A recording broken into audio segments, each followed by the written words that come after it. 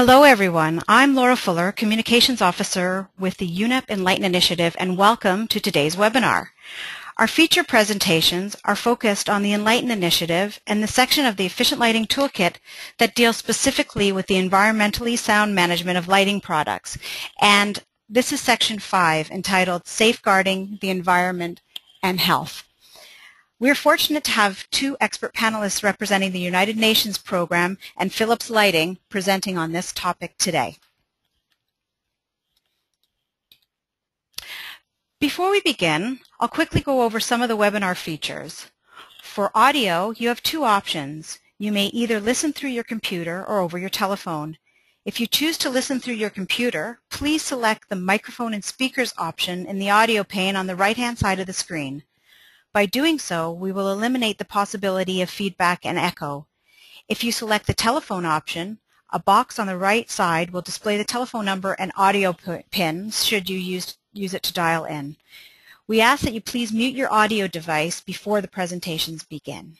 If you have any te technical difficulties at all with the webinar, you may contact the GoToWebinars help desk at 888-259-3826 for assistance. We welcome you to introduce yourself, and you can do so by typing into the chat pane located on your screen. If you'd like to ask a question, we ask that you use the questions pane where you can type in your question. And you can type in your question at any point during the presentations, and afterwards an audio recording in the presentations will be posted on the Enlighten Initiative website. You can also ask additional questions from the Contact Us feature on our website. So we have a really exciting agenda prepared for you today that's focused on the importance of environmentally sound management of lighting products. Kathryn Conway from the United Nations Environment Program will provide information from the Enlighten Initiative's Efficient Lighting Toolkit, and Andrew Brookie will go into detail about best practices for the collection and recycling of lamps. Before our speakers begin their presentations, I'll provide a short informative overview of the Enlighten Initiative. And then following the presentations, we'll have a question and answer session and wrap up the discussion with closing remarks. So the Enlighten Initiative was established in 2009 to accelerate a global transformation to energy efficient lighting. We've set a target date that by the end of 2016, all countries should have either phased out inefficient incandescent lamps or have policies in place to phase out within an identified time frame. The initiative provides expert guidance, recommendations, and tools to assist developing and emerging countries to achieve a transition to efficient lighting. This includes the harmonization and promotion of minimum energy performance standards, or MEPS, and recommendations that include global best practices. The Global Partnership Program is a key initiative in the Enlighten. It is a key initiative in Enlighten, and it provides technical advice and targeted research and support for the coordination of regional activities around the world. So far, 46 countries have joined the partnership, and pilot workshops are currently being held in selected countries around the world. The Enlighten Initiative is an excellent example of a successful private partner public-private partnership, and it's supported by the Global Environment Facility and partners Philips Lighting, Osram AG, and the National Test Center of China. To achieve a transition following an integrated approach, the initiative is providing key resources to countries, and here are just some examples of these resources. Enlighten has convened government representatives and international lighting experts from over 40 organizations to provide technical, policy, and capacity building support as part of our expert task forces. Country lighting assessments have been developed for over 100 countries and highlight the potential savings that can be realized by each country with a shift to efficient lighting in the residential, commercial, industrial, and outdoor lighting sectors. The new Global Efficient Lighting Policy Map rates activity levels for the four elements of the integrated policy approach in the residential sector, and it shows the readiness of countries to transition to efficient lighting. The Efficient Lighting Toolkit, which we're discussing today, Section 5 as I mentioned earlier, has been developed to communicate the benefits and tools necessary for the widespread adoption of efficient, lighting. It's available as an ebook format online, and it is in Spanish, French, and English currently, and will be translated into Arabic and Russian and online shortly in those languages. The new Enlightened Learning Microsite provides countries with tools, expert advice, presentations, policy information, and technical resources. And a global policy dialogue will be convened in 2013 to address policy issues and the emergence of LEDs. At this prominent event, a global lighting status report will be released for review and input. Lastly, the UNEP Collaborating Center has been launched in Beijing, China as a partnership between UNEP and the National Lighting Test Center. It's an accredited facility that provides lighting testing, training, advice, quality control, and capacity building to support developing and emerging countries. So as you can see, the Enlighten Initiative provides a wide range of support for all countries and stakeholders interested in a rapid transition to energy efficient lighting. Now I'd like to provide a brief introductions to our distinguished panelists. We are joined by our guest speaker, Mr. Andrew Brookie, who is responsible for global corporate sustainability at Philips Lighting. His most recent undertaking included a pilot to collect and recycle end-of-life lamps across Indonesia. In addition, he's involved in establishing a lamp collection and recycling service organization, or CSO, in South Africa. Our next panelist, or first panelist of today, will be Kathryn Conway. She's a program officer in the Division of Technology, Industry, and Economics at UNEP, who provides technical support to the Enlighten Initiative. She's an expert in energy efficient lighting technologies and energy policy. She's previously a professor and a consultant, and Kathryn has more than two decades of experience in global lighting market transformation efforts. So at this point, I'd like to pass the um, presentation over to Kathryn. Hello, greetings to everyone around the world who is listening in.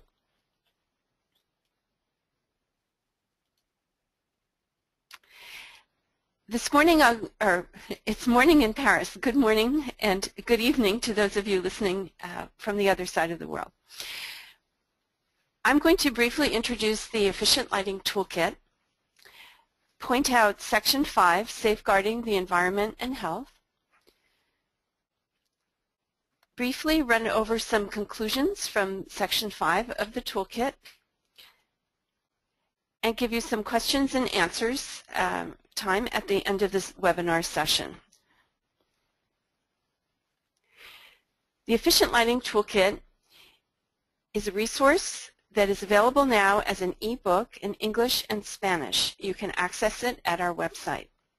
We'll soon have it available in Arabic, French, and Russian.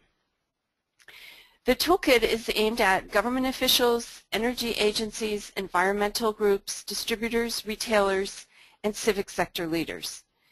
It offers policy and technical tools, including templates.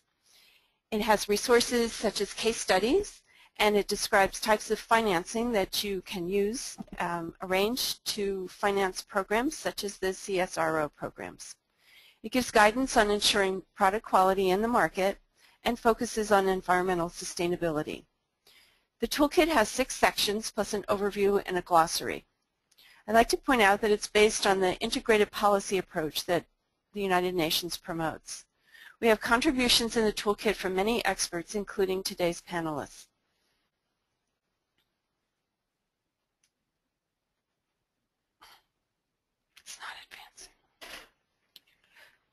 The elements of the integrated policy approach are like a puzzle. The cornerstone is minimum energy performance standards. Along with these minimum standards that set the bar for products that can be in the marketplace, we need supporting policies. The supporting policies include types of financing such as rebates, incentives, and communications programs. Monitoring, verification, and enforcement is critical for making sure that the products that are in the marketplace actually deliver the savings and the benefits that we expect. And finally, today we're going to talk about environmentally sound management. This is a key part of the integrated policy approach, and with all four parts of the approach in place, we can achieve sustainable lighting. In Section 5, we're focused on three parts of the life cycle of lighting, lamp production, usage, and end-of-life issues. We also touch on carbon, material, and water consumption footprints. We take a look at mercury in lamps versus mercury emissions from fossil fuel combustion. And we give practical guidelines on how to communicate technical issues to end users. When we have an environmentally sound management scheme, this provides regulators with a framework to manage the impact of goods and services at all life cycle stages. In production, we're looking to minimize toxicity in design and manufacturing. During the usage phase, which is the greatest impact of any lighting product, we're also trying to avoid breakage, especially of lamps that are uh, operating with mercury. So we call these mercury added lamps, and you would recognize the compact fluorescent lamp as an example of a mercury added lamp. For the end of life phase, we're looking at best practices, management of systems, and financing. And this is where our guest panelist, Andrew Brookie, will be focusing. For international policies, we want to point out that there is the Basel Convention on the Control of Transboundary Movement of Hazardous Waste, and also the UNEP-facilitated Intergovernmental Negotiating Committee on Reducing Mercury Pollution. In the production phase, the toolkit addresses three general types of lamps. Filament lamps, which are incandescent and tungsten halogen incandescent lamps. Compact fluorescent lamps, either bare bulbs or ones that are covered with a globe. And light-emitting diode lamps, these are the newest lamps, and while the technology is still emerging, we have some life cycle studies that are being done to compare all three types of lamps and show where in the life cycle there are concerns, how these concerns are being addressed by industry, and how the lamps can be collected and recycled and reused, uh, the components reused at end of life.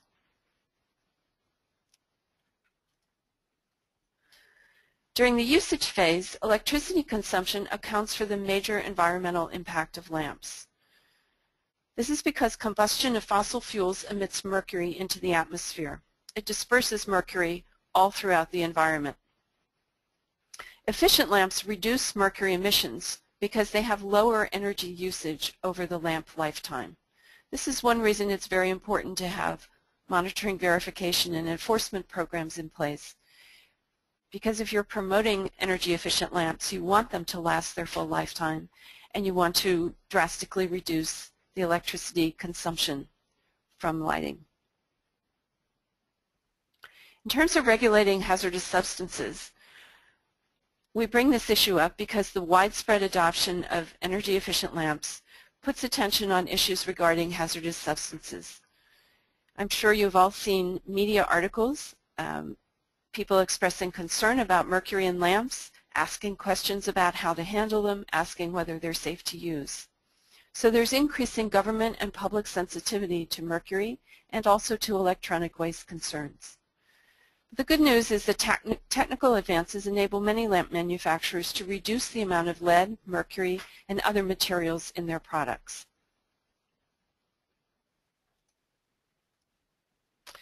I'll give you just a few examples of regulations and voluntary initiatives regarding mercury in lamps.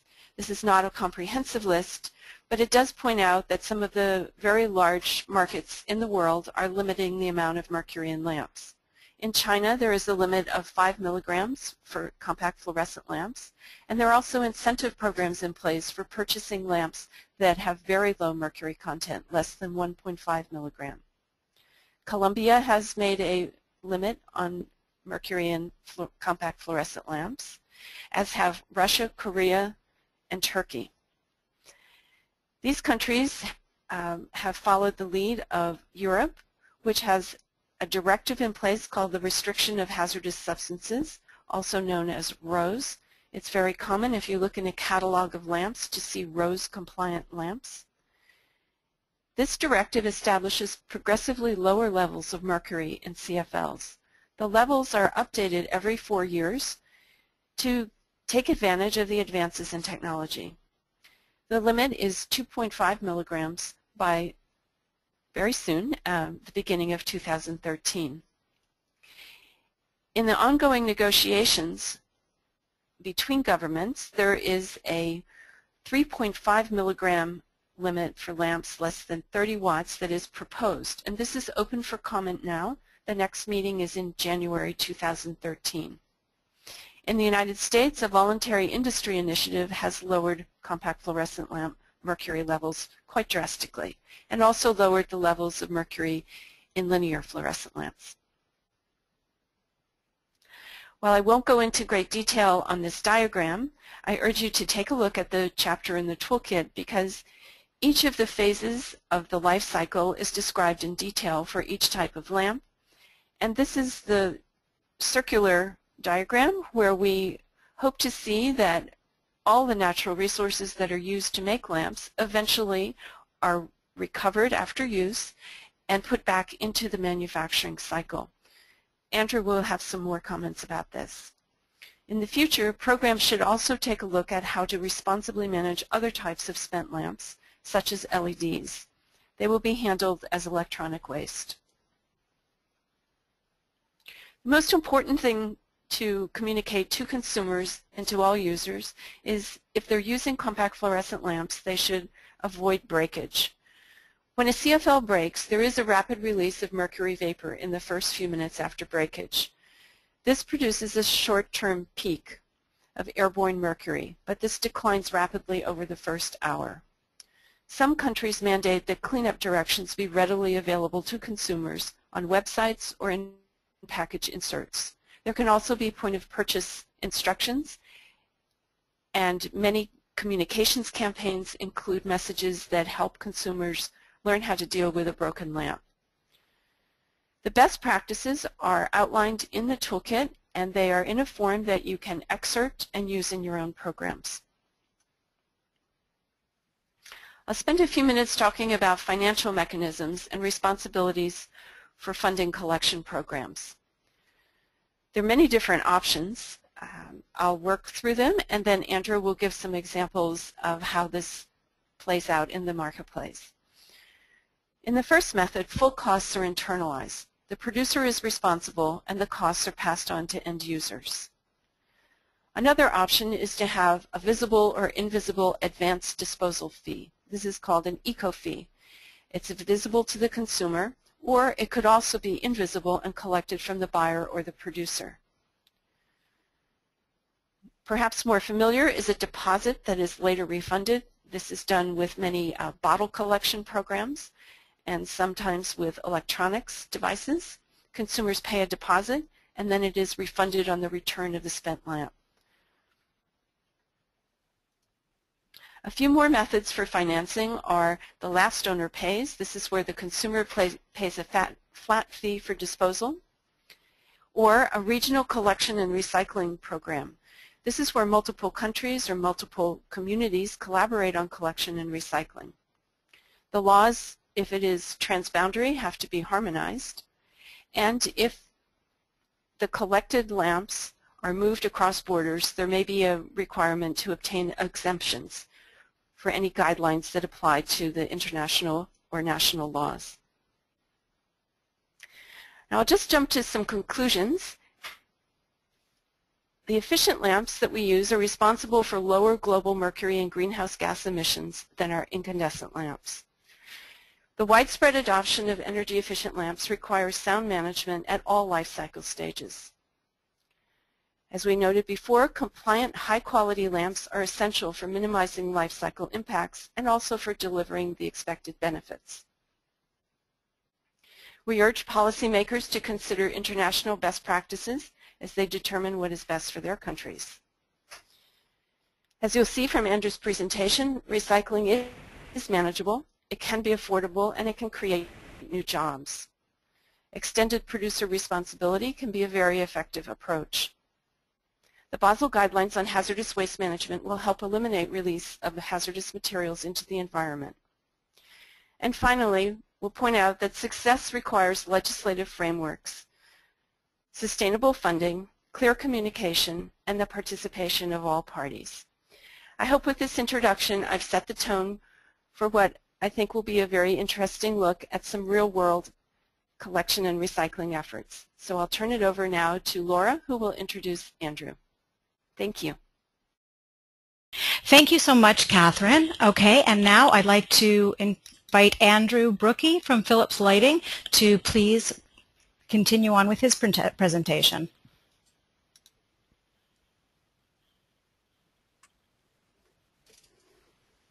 Uh, hello to everybody. Thank you for joining this webinar.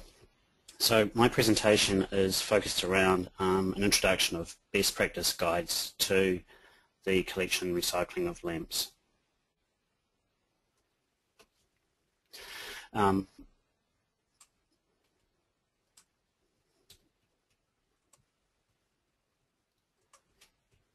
excuse me, I'm just organising my screen at this end. So um, based on the um, cooperation that Philips has undertaken with various lighting industries, the objective is to implement and optimise environmentally and financially sustainable collection and recycling service organisations, what we refer to as CRSOs. Uh, this is for end-of-life lamps, uh, uh, which we want to tailor to the specific country requirements. So the various uh, logos you see there represent all the CRSO implementations in the uh, member countries to the European Union when they introduced their directive for Uh, electronic waste, which they refer to as the WEEE directive.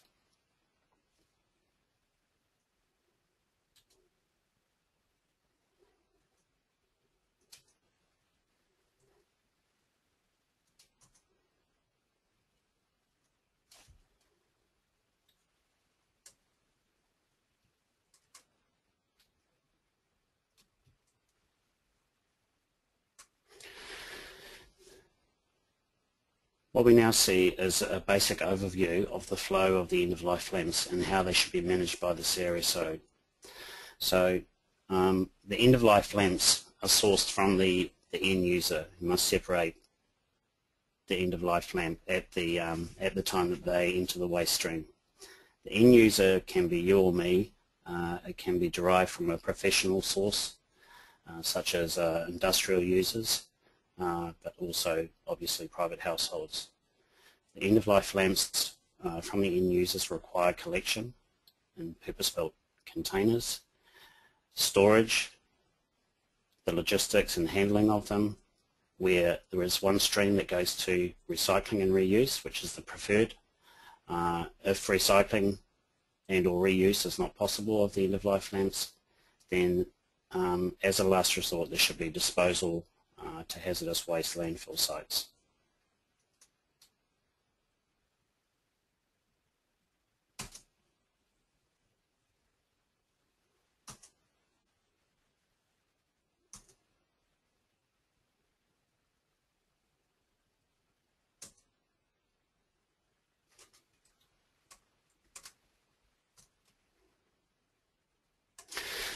Uh, what type of lamps should be collected at end of life? Obviously, as mentioned, compact fluorescent lamps, other fluorescent lamps, straight tubes, round tubes, high intensity discharge lamps, and LEDs. Where should the lamps be collected from an end-of-life point of view?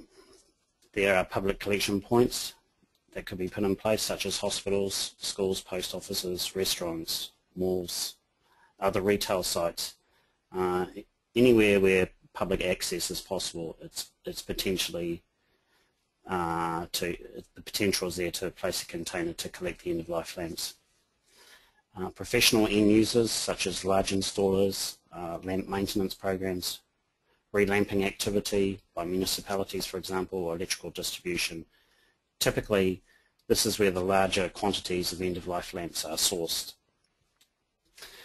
Mobile curbside collection vehicle services are also possible um, where maybe there is not easy access for the public to get to a collection point. Uh, consideration could be given to providing a, a mobile vehicle collection of end-of-life lamps from um, areas where they cannot readily access a public collection point.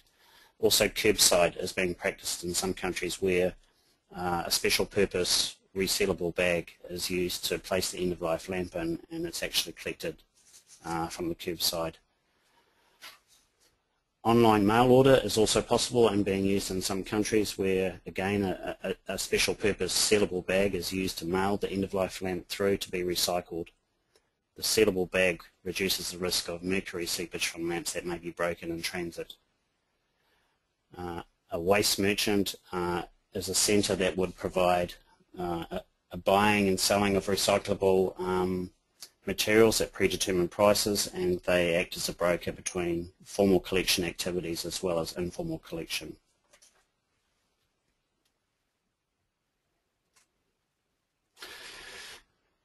I now want to focus on the collection aspect of, of a CRSO because this is where the majority of effort is required. Um, what we find as a best practice container to use that's specific to, to lamps is the foldable version um, that is manufactured in Spain. Uh, it is one that we are using for our pilot in Indonesia as well. The advantages are that it is foldable and very efficient in terms of logistics, uh, moving it to and from collection points. Uh, it can carry a mix of different lamps as you see illustrated in one of the photos there. It has a possibility for a track and trace capability. It's, it's very suitable for your large installers, maintenance, relamping, uh, professional end user use.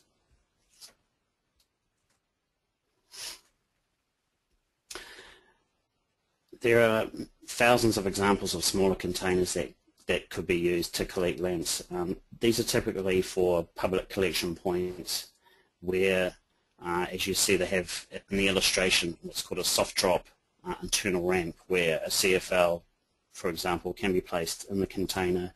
Uh, the soft drop uh, eases its fall to the bottom so it doesn't break.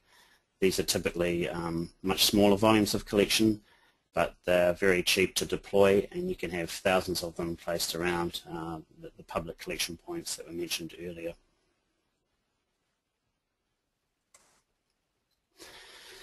Um, I want to give a, an example from Indonesia of the, um, the importance of having incentivized collection when you establish a, a CRSO. What we found in that market uh, with a very dense population, um, with 17,000 islands, of which 7,000 are inhabited, in terms of managing the logistics and building up the volume of waste to be collected. A key challenge there was to, to increase the collection of CFLs from households, which as I mentioned there is typically below the level of waste that you would derive from professional end users.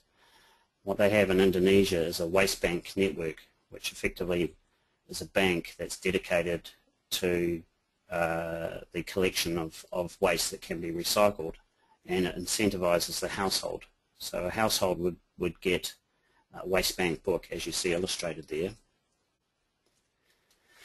Um, then inside that waste bank book uh, on the left hand side as the household um, has its waste separated and collected that can be recycled, it will, will receive the equivalent of cash deposits. So this is all sorts of um, recyclable waste, which can include and does include end-of-life lamps. Um, more typically things like plastic bottles, glass and so on. The household builds up cash equivalent in its waste bank book. Once they've reached a certain amount on the left-hand side, the household can actually go to the waste bank and withdraw cash um, which typically happens uh, during festive holidays during the year. And it's a system um, that works across all of Indonesia. It's very effective. Uh, the household is absolutely incentivized um, to participate because simply they, they receive cash incentives for separating their waste that can be then collected and recycled. Very effective.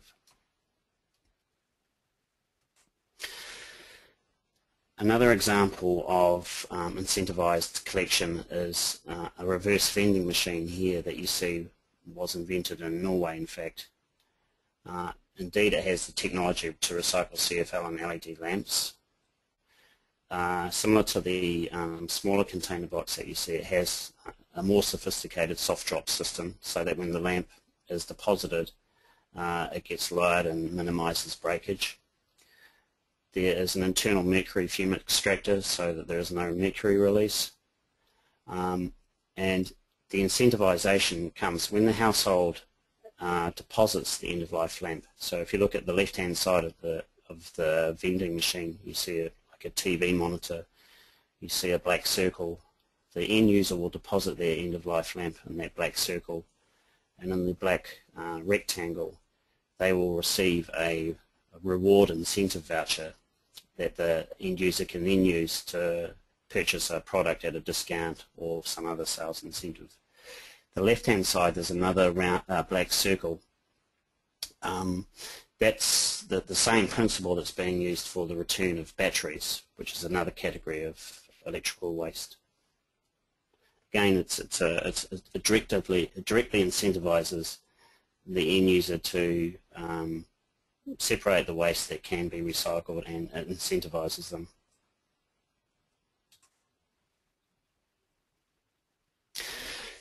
Another common example um, to, to gain coverage of, of your collection network for the aerosol is to have a, a multi-product container for small categories of e-waste. And in this example you see from the left to the right um, uh, the potential to collect batteries, paper, plastic bottles and CFL lamps. Space efficient and it, it's, it's a synergy in terms of joint collection of waste and um, it's been found in more and more retail sites across the world.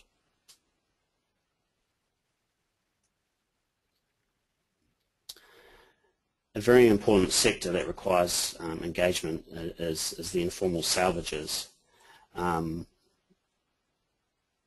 the waste pickers who collect and, and even sometimes buy recyclable waste pack them on their form of transport, transport them, sell them for a profit to sorters who then ship off the, the waste that's been collected by uh, the informal sector for processing. This form of recycling network is a low-tech solution but one that works very, very well. Um, it, it's, it's, uh, it can employ many thousands, if not millions of people, depending on which market you might be in. As I mentioned, engagement of the informal sector is necessary um, because you can come to an agreement to formalise the waste volumes that they have collected and it can also help from a governmental point of view create formal employment too. Um, the bottom photo uh, shows a uh, informal uh, collection and recycling effort for a CFL lamp. Um, typically the knowledge of the informal sector is that uh, when they get CFLs, the value is in, in the plastic end, uh, not so much in, in the glass, which also can be recycled, which does contain phosphor powders and, and as well as uh, a mix of mercury. Uh, so what you're seeing there is not from a from a health and safety point of view satisfactory, um, but that's how the informal sector is, and and there is a need for education in that respect, so that they understand that the full lamp can be recycled. It's not just a component of it, but the entire lamp. So from end users to uh, the collection effort with, with specific containers, we come on to storage. Um, so obviously once we've got the, the, end-of-life lamps containerized, they need to be stored warehoused and typically uh, hazardous licenses will be will be required to store the waste. Um, it's important there's good contingency planning at the warehouse uh, and training of the workers if there is breakage of the end-of-life lamps, um, that they know exactly what to do in terms of clean-up procedure and so on. Uh, as mentioned earlier, there is uh, mercury vapor that, that peaks at a certain time, so you want to be able to ventilate and, and use, for example, as shown here, uh, spill control kits. Uh, across the um, collection of the of the lamps and containerization and storages is the need for logistics, obviously, to shift shift things around. Um, as I've said there, when the volumes start to increase, specialised logistic providers will be required with dedicated fleets to handle the above special purpose containers. They will also require license to deal with hazardous waste. Logistically, the waste is collected, consolidated at take-back storage sites, and then transported on to the recycler.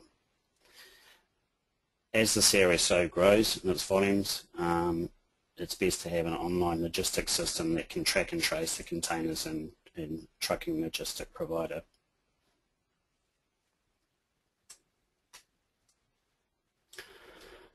So why recycle lamps?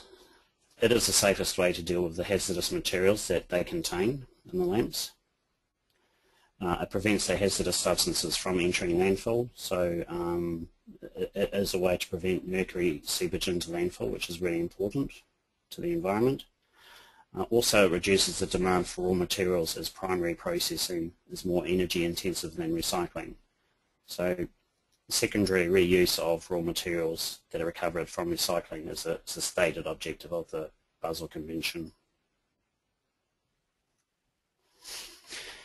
How to recycle lamps. There are various types of technologies that work and I'm giving one example today um, which is MRT from Sweden. This is a compact crush and separation plant.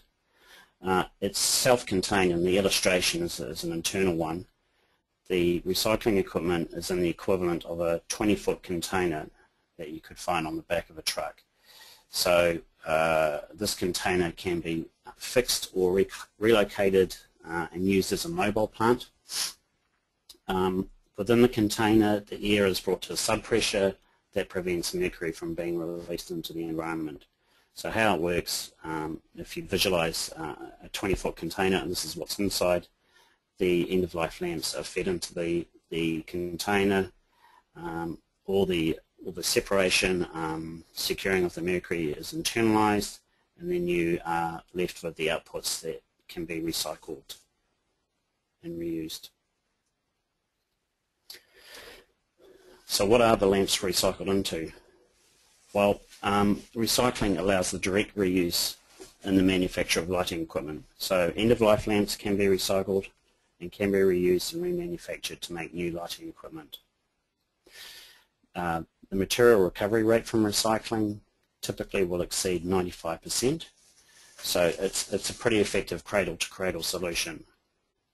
Um, the the uh, illustration there basically shows that the recycling enables distillation and the recovery of mercury and reuse. So again, you are your secondary reuse of the mercury reduces the uh, intensive primary um, extraction of mercury from the environment. There are alternative industrial uses for the recycled materials from lamps. One example is that the glass can be used for building insulation. Another example is that the mercury can be used as a dental amalgam. The aluminium can be reused and so on.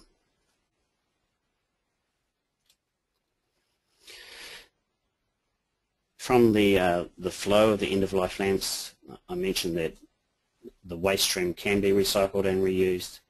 However, if, if recycling is not a possibility as a, as a last resort, um, the need to disposal has to be considered.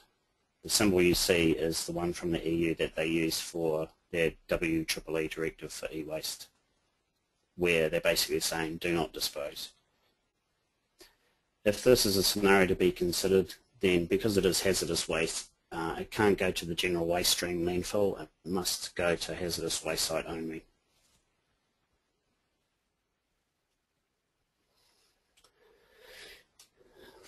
When undertaking um, the transition from incandescent to energy efficient lighting, which then builds the momentum to start up a CRSO, the government involvement and, and the need to communicate the benefits of the conversion from incandescent to energy efficient lighting is important. So that's one communication that needs to happen. As a CRSO is established, uh, it's very important that the CRSO communicates building an awareness for end users that lamps cannot be recycled, can be recycled, excuse me. The, the, the, the end user's perception is that lamps cannot be recycled, but they can. So there has to be extensive communication to build awareness that end-of-life lamps can be recycled by the end users.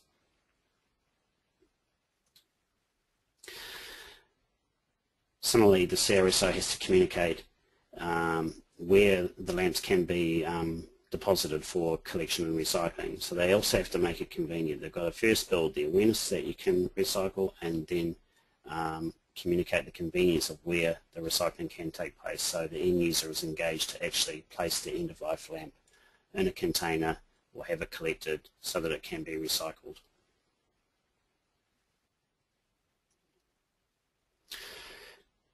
In terms of financing the CRSO, uh, the preferred approach is to do so via a visible fee. So um, from the initial uh, workflow, you now see what's called a green light CRSO is a generic name for uh, a CRSO that you could create in your market. Uh, you see on the left-hand side the green arrows which indicate the, the funding of the CRSO where in fact the, uh, the end user would pay at the point of purchase a visible fee via the producer, the one who would sell the product or directly to Greenlight CRSO that would provide the funding for the collection and recycling activity. That is represented by the red arrows where the funding uh, is then used to finance the collection, storage, logistic, recycling and if necessary disposal activity. Typically the CRSO would operate on a not-for-profit basis so there is no excessive uh, cost burden on the end user um, in order to achieve a satisfactory level of collection and recycling of end-of-life lamps.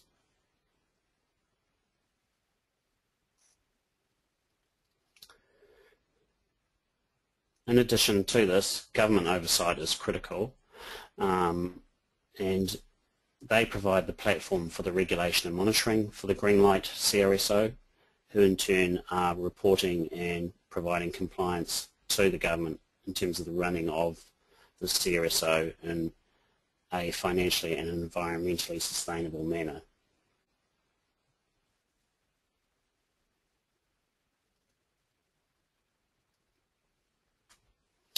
Differentiating lamps to other types of e-waste.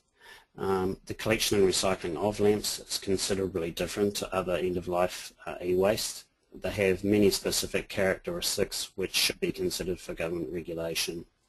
So lamps are, are fragile and hazardous um, as opposed to, say, another type of uh, e-waste, a, a, large domestic appliance such as a refrigerator, which is obviously far more robust. Lamps uh, are low in individual weight with many different shapes in terms of uh, the collection dynamic. There's an extremely high volume of lamps that are put on the market every year in terms of sales. At the end of life, they have no residual value. There is the new LED technology as part of a consideration for um, building up a CRSO. There are specific collection and treatment requirements to lamps. And importantly, no distinction can be made between the household and professional end user as a source of end-of-life lamps. So these dynamics have to be considered uh, as, a, as a government looks to regulate the collection and recycling of uh, lamp e-waste.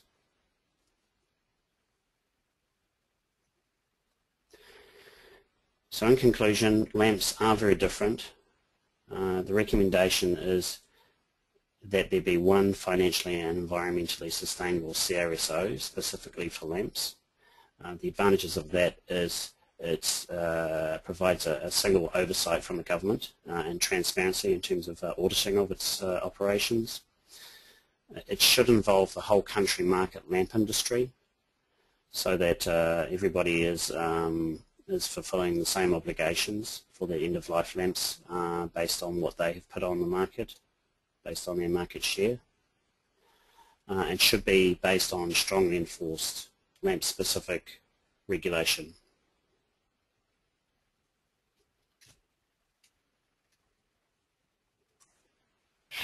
Excellent. Andrew, thank you so much. That was an excellent presentation. And Kathryn, thank you to you as well.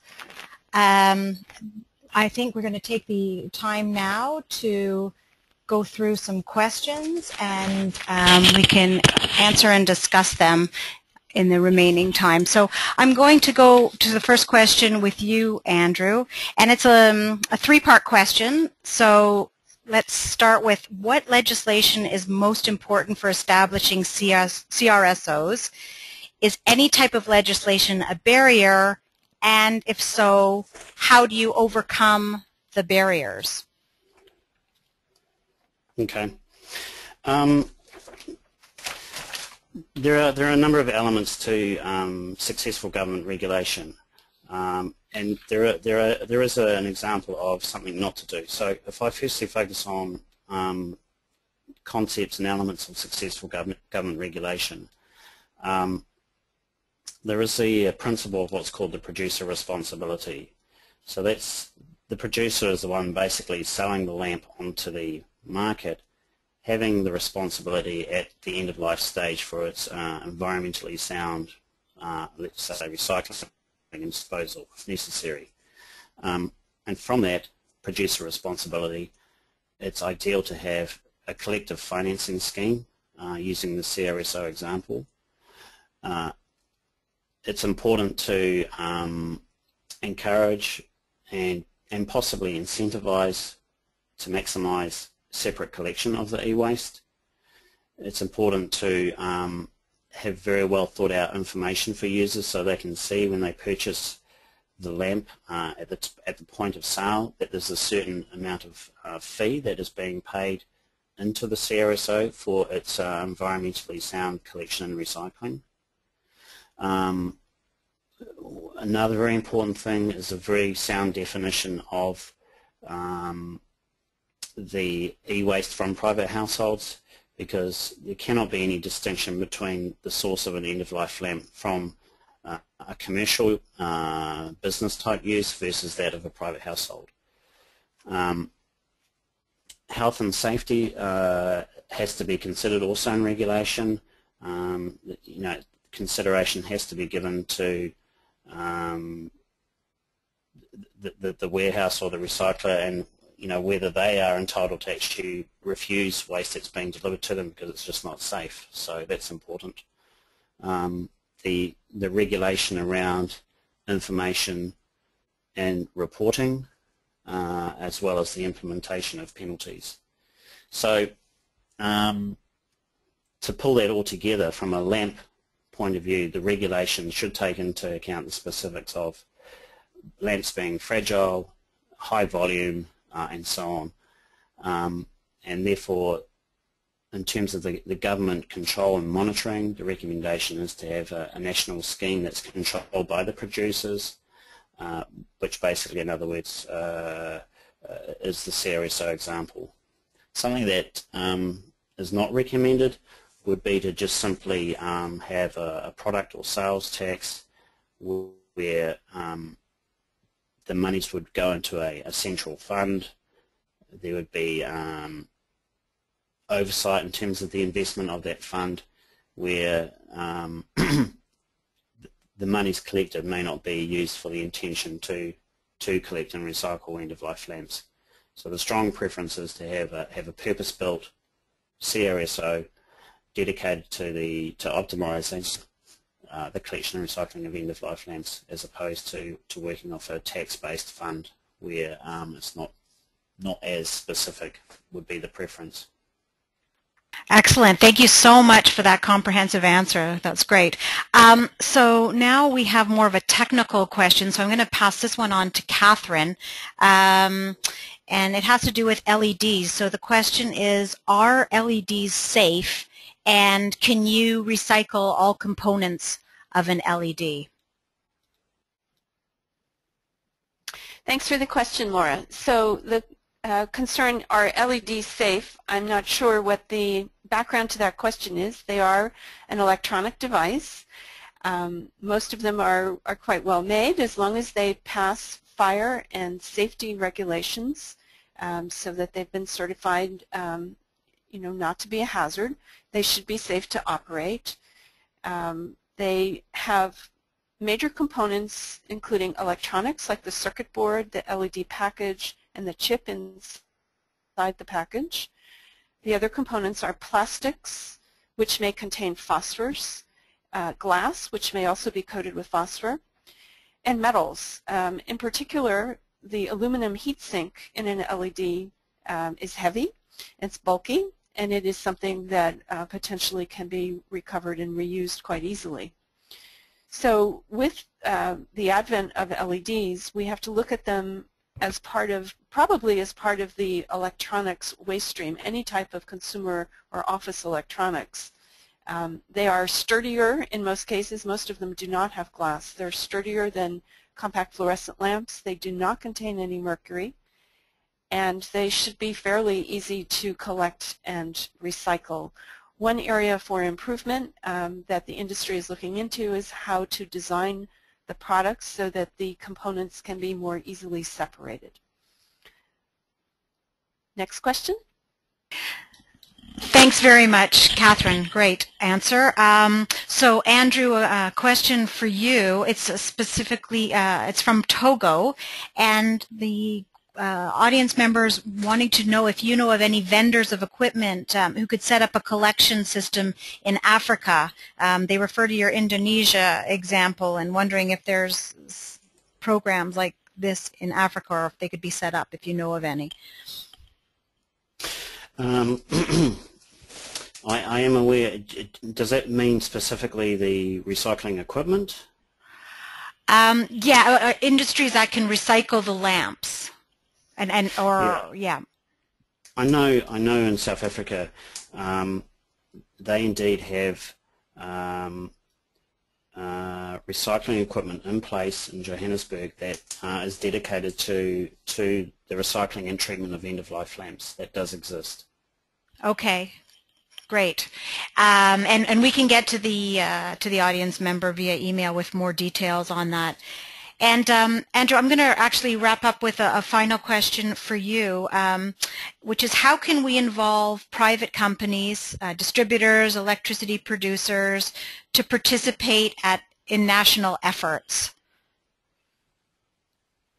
Well, I think I think the start point is um, wherever possible, a lighting industry association exists to to start the uh, the dialogue with the lighting industry that will include all the producers that are importing uh, into the market lamps for sale, um, engaging the uh, national utility to basically open the dialogue to take the direction of um, how you how you seek to regulate uh, the collection and recycling of end-of-life lamps and therefore the necessity of how a CRSO should be established in your country.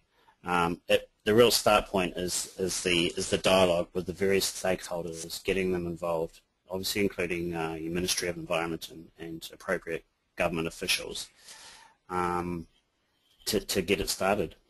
That's the start point. Okay, fantastic. Thank you so much for that answer. Um, so now I'd like to thank everyone on behalf of the Enlighten Initiative, our speakers and our attendees for participating in today's webinar. We've had a great audience and we really appreciate your time.